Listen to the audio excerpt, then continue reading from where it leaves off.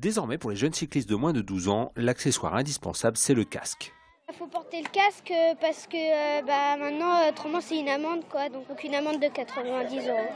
Pour ces enfants, le port du casque, c'est naturel et certains ont déjà expérimenté le bénéfice d'en porter un. Mon casque, il m'a bien protégé parce que comme il était plus en avant que mon nez, bah, mon nez, il n'a pas été touché. Le casque, tout le monde en mesure les bénéfices pour les enfants.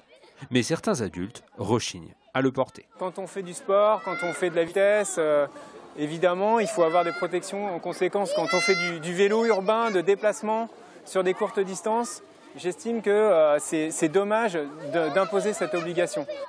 Le port du casque réduirait de 70% le risque de blessures graves à la tête en cas de chute. Ce spécialiste de la prévention routière irait même plus loin que la mesure actuelle. Un choc à 50 km/h correspond à une chute du troisième étage. Moi, je ferai porter des casques à tout le monde. Dans ce magasin, pas de hausse significative de la demande depuis l'obligation de la semaine dernière.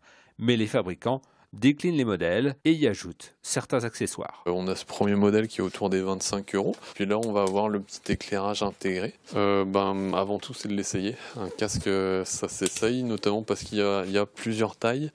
Euh, malgré le réglage qui peut permettre euh, de, de s'adapter. 11 pays européens imposent le port du casque pour les enfants. Seule la Finlande a étendu la mesure à tous les cyclistes, y compris les adultes.